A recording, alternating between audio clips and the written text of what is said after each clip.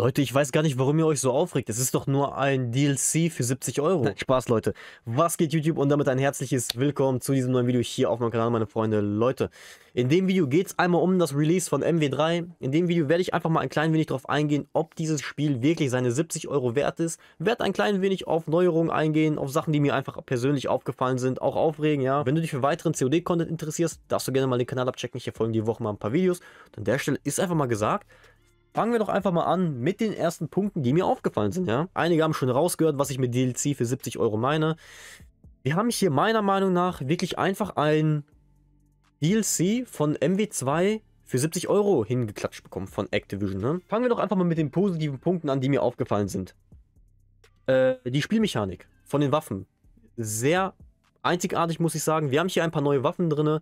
Wir haben auch ein paar alte Waffen drin, da will ich aber gleich drauf eingehen. Wir haben hier ein paar neue Waffen drin, die sich wirklich geil spielen. Die Soundkulisse ist geil.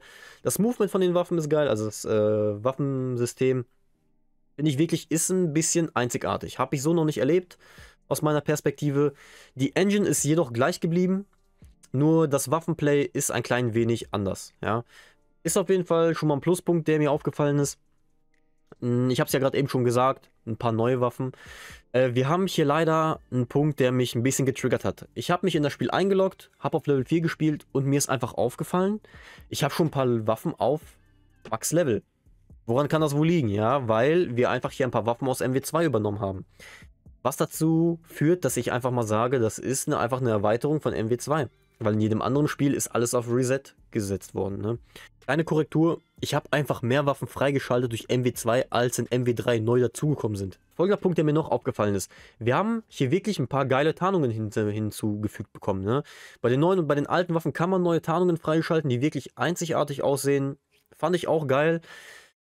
Ob es mir jetzt die 70 Euro wert ist, weiß ich nicht. Ne? Ich denke mal, das werden wir im Laufe des äh, Gameplays noch sehen, ob sich da doch noch ein paar Neuerungen reingeschlichen haben oder nicht. Auf jeden Fall waffentechnisch, sage ich einfach mal, haben wir ein paar kleine Neuerungen dazu bekommen. Ein paar alte Sachen haben wir auch drin. Äh, bleiben wir mal beim Klasseneditor. Wir haben hier wirklich im Menü eine komplett gleiche View wie in Modern Warfare. Ne? Außer das Hintergrundbild hat sich natürlich geändert.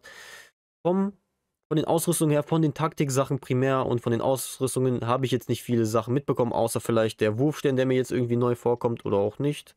Aber ansonsten ist hier wirklich alles erstmal gleich geblieben. Anschließend haben wir hier keine Extras mehr, sondern wir haben jetzt Handschuhe, leichte Stiefel und wie das Ding heißt, keine Ahnung, ich weiß es nicht. Und neu ist auch die Infanterieweste. Bei den ganzen Sachen, die ich genannt habe, kann man verschiedene Sachen auswählen, wo halt einfach Vor- und Nachteile halt auch sind. Ne? Das ist, Ganze kann man immer individuell jetzt einstellen. Es ist halt quasi wie die Extras, ne? wie die Perks. Und genau, finde ich, ist eine geile Sache. Haben sie sich was Neues zu einfallen lassen? Es ist jetzt keine gravierende Sache, aber es ist schon mal eine kleine Neuerung, wo man sagen könnte, echt, da haben die sich die Entwickler echt mal ein paar Gedanken zugemacht. Nichtsdestotrotz gibt es im Laufe des Spiels noch ein paar Sachen, die negativ auffallen. Aber erstmal Klasseneditor, paar Sachen gleich geblieben. Ein paar Neuerungen Abschussserien haben wir auch ein paar neue Sachen dazu bekommen. Ist es aber auch nichts krasses. Ne? Juggernaut, Aufklärung zum Beispiel. Ist jetzt auch nichts krass gravierendes. Sieht auf jeden Fall auch alles gleich aus. So, Operator-technisch. Im Operator-System sieht auch alles erstmal gleich aus, clean geblieben. Ein paar neue, paar neue Operator aufgrund der Story sind auch neu dazugekommen. Und natürlich die Sachen aus MW2 auch geblieben. Negativ sind dann halt auch hier unter den Änderungen die ganzen Bundles. Das gleiche, das sieht halt einfach wie in MW aus. Ne? Und der Shop natürlich auch gleich geblieben.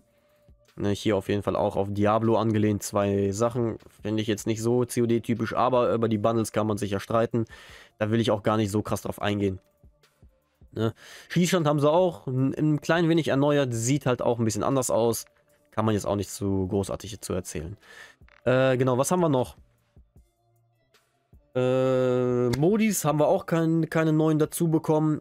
Aber ein ganz großer Punkt, der jetzt schon mal erstmal in der ersten Linie negativ klingt oder auch positiv für die einen oder anderen, die Maps. Wir wissen ja, dass MW3 ganz groß damit geprahlt hat, dass es ein Remake von MW2 ist, was auch erstmal in der ersten Linie ganz geil ist, ja. Negativ ist dann, finde ich, dass halt einfach keine neuen Maps dazugekommen sind, ja. Es ist wirklich keine einzige Map dabei, die neu ist.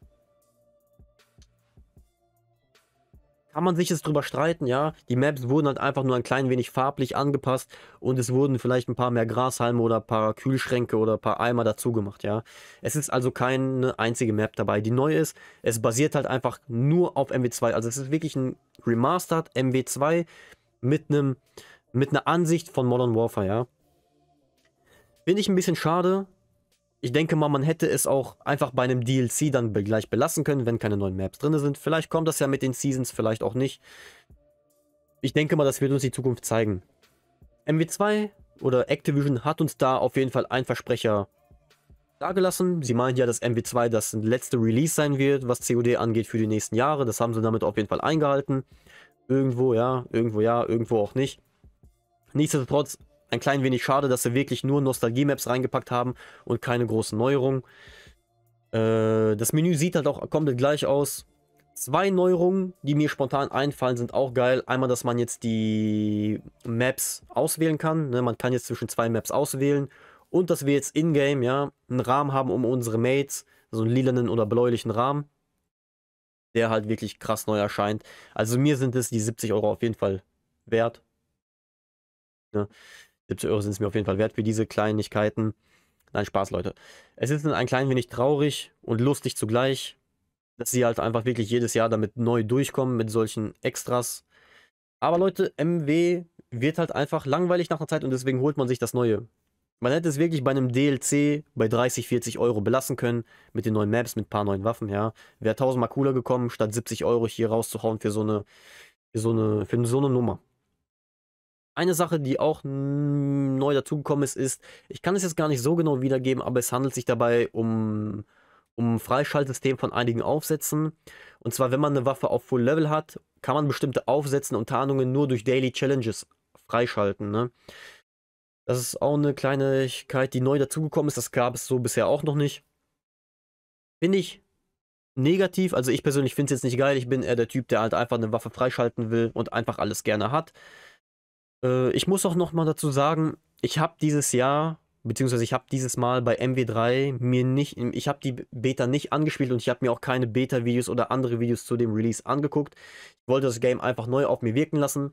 Ich hab, bin echt neutral in, in die erste Runde reingegangen und ich habe mich ein klein wenig verarscht gefühlt. Ne? Es ist wirklich keine große Neuerung drin. Es ist einfach ein altes COD.